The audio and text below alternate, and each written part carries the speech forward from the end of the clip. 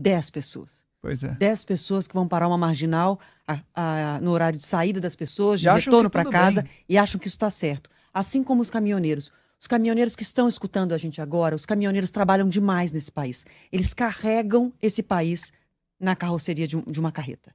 Todas as riquezas, praticamente, que a gente comercializa nesse país são transportadas pelos caminhoneiros. Eles precisam ter responsabilidade com esse país. Os que têm que cobrar essas manifestações acabem são os eleitores do Bolsonaro e o Bolsonaro, que tem que cobrar respeito a um país, respeito a uma democracia.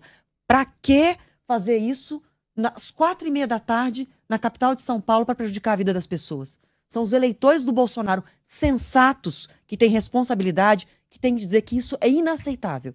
Quer protestar? Faz como todo mundo tem direito de protestar. Organiza, combina onde é que vai ser o protesto, uma praça, uma rua. Não assim, parando pelo, pelo meio do caminho as pessoas. Tem gente presa na estrada dentro de ônibus com criança chorando, sem ter como comer. É de uma irresponsabilidade, um desdém por um país que é inaceitável.